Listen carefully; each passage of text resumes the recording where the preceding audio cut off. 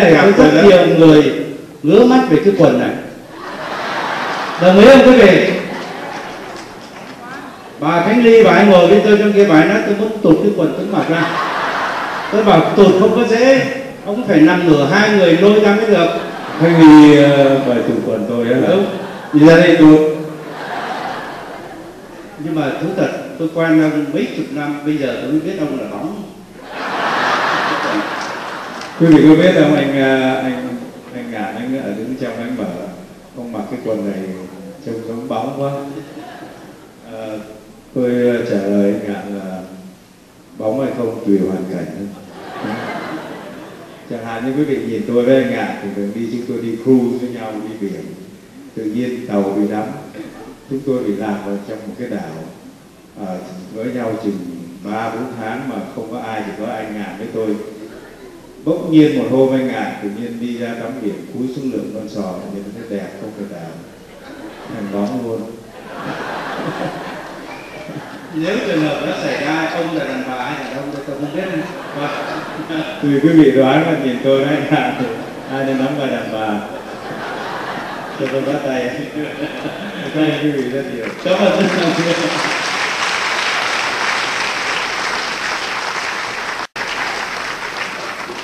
càng ngày càng già thì càng có nay thấy lờ đờ quá.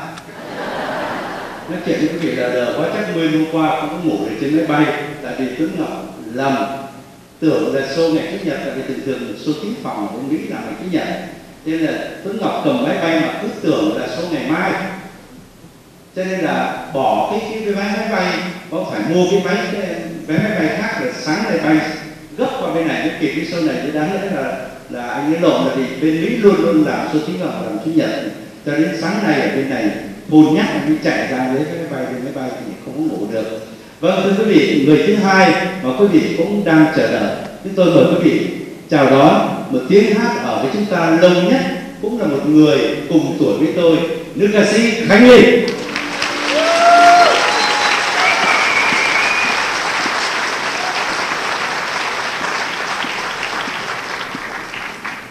Xin cảm ơn quý vị. Quý vị, anh Ngạn và tôi cùng một tuổi, thì quý vị có thấy cái gì khác lạ? Ngoài cái chuyện người là một người đàn ông, một người đàn bà, tất nhiên là phải khác rồi. Nhưng mà tại vì cái tuổi nó cùng cùng một tuổi, thì nó có phải có người già hơn, người trẻ hơn chứ.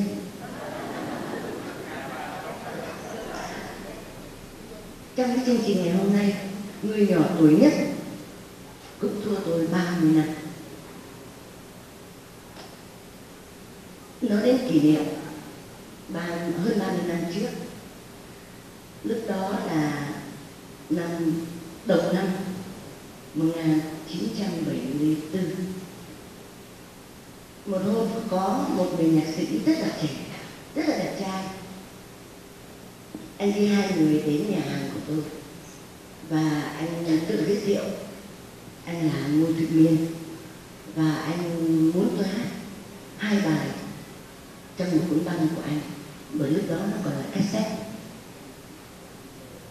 và tôi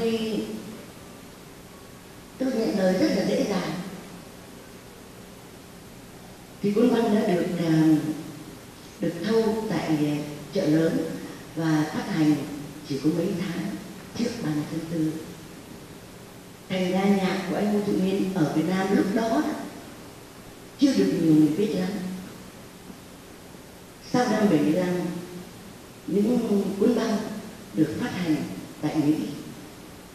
Bắt đầu có mặt tại thị trường thì một trong những cái cuốn mà các trung tâm bán được nhiều nhất là cuốn vô Thụy Miên và tất cả những người có mặt trong cuốn băng đó đều ờ, được khán giả các người yêu mến yêu mến tiếng hát và những bài hát của nhạc sĩ Ngô Thụy Miên người cùng đi với anh Ngô Thụy Miên nếu tôi nhớ không lầm, thì có lẽ đó là anh à, Nguyễn Văn Ngà và anh Đạt thì đã mất tại à, thành phố này. Cách đây cũng đã khá lâu. Tôi chỉ nhớ một anh như vậy thôi, nhưng đó là một cái kỷ niệm rất là đẹp. Khi mà một người nhạc sĩ tìm đến những ra một bài hát của họ cho mình. Điều đó còn có nghĩa là người ta rất tin tưởng là mình và rất quý mến mình trong cái niềm vui đó, hôm nay tôi xin được nối tiếp chương trình của anh Vũ Thị Miên bằng một bài mà ngày xưa tôi đã hát đó là bài dấu tình dấu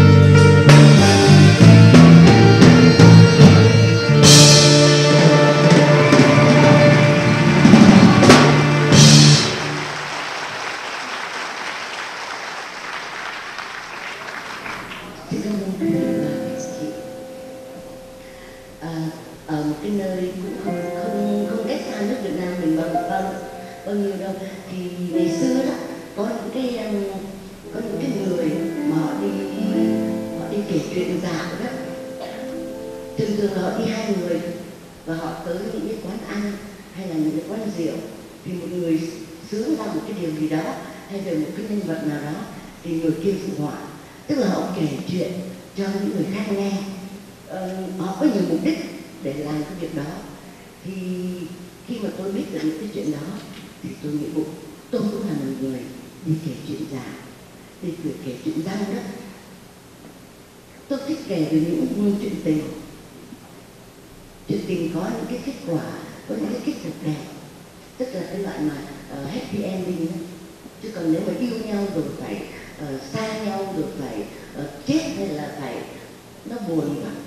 Um, tôi thì lúc nào tôi cũng nghĩ là ở cái đời sống này mình có nhiều điều buồn lắm mà nếu trên hai vai của mình mình cứ gánh mãi những cái nỗi buồn đó, thì chắc cũng chẳng nên sống làm gì. Cho nên tôi sẽ kể những cái chuyện là của hai người yêu nhau. Dù hai người đó có thể không bao giờ trở thành vợ chồng cả, nhưng mà họ yêu nhau rất thật lòng, họ yêu nhau rất thật thà. Và người này cũng như người kia sẵn sàng nhận cái vết thương nếu có khi cuộc tình nó bị à, đổ vỡ cái thời của tôi một người nghệ trịnh đạo cũng đã qua rồi. Đến năm nay là đúng 50 năm tôi đứng trên sân khấu. Chẳng còn bao lâu nữa.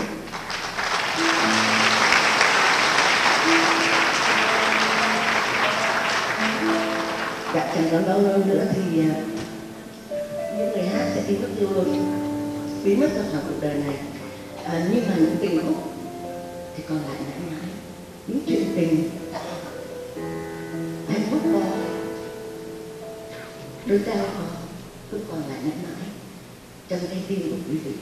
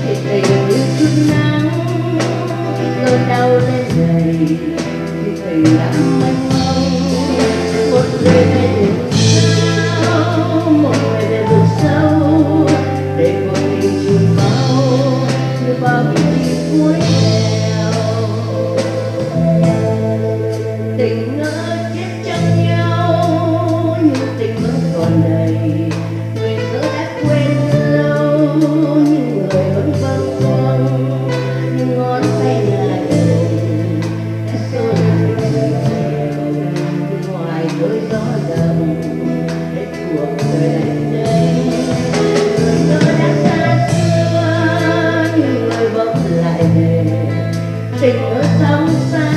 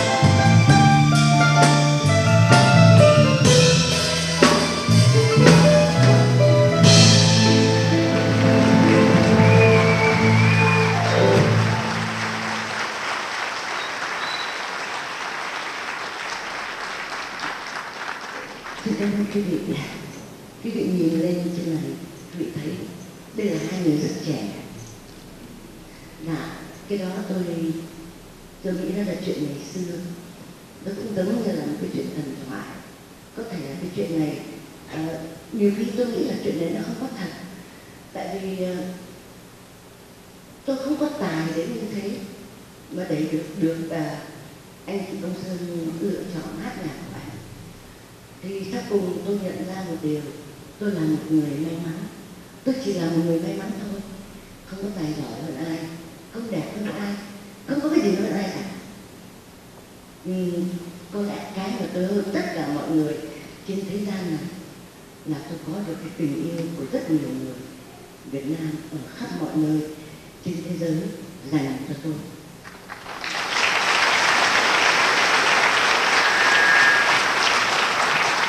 Thank you tôi nói rất là thật lòng tôi không biết phải ờ, nói thế nào bây giờ. Tại vì cứ tự nhiên tôi mãi cũng phải chán chứ. Mà nghe thì cũng chán vậy. Đó là đang ăn đó kìa. À,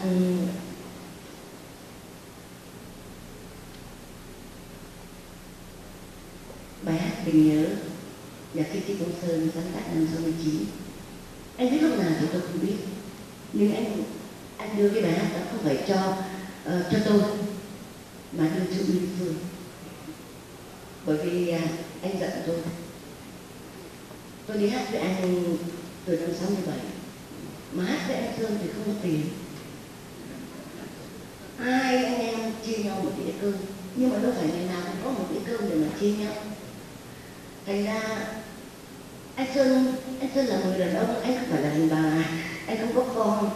Ừ, và anh không biết về tiền. Anh không bây giờ có, có đưa cho bao nhiêu tiền anh cũng không biết. Nó mới xài thế nào. Trẻ anh không thể hiểu được là người đàn bà đã có con thì phải có những cái việc mà trả tiền.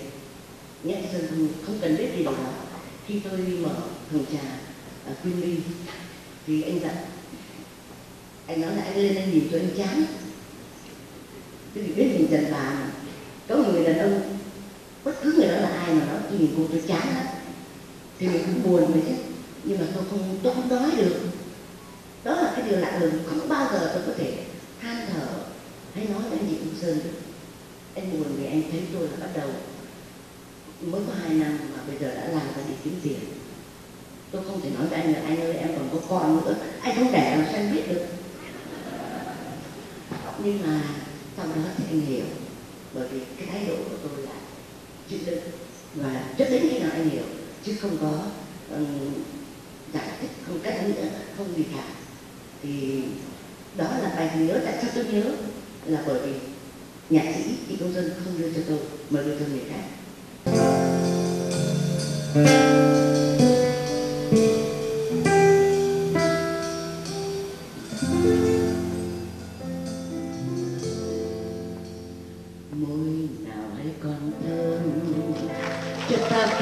Senhor.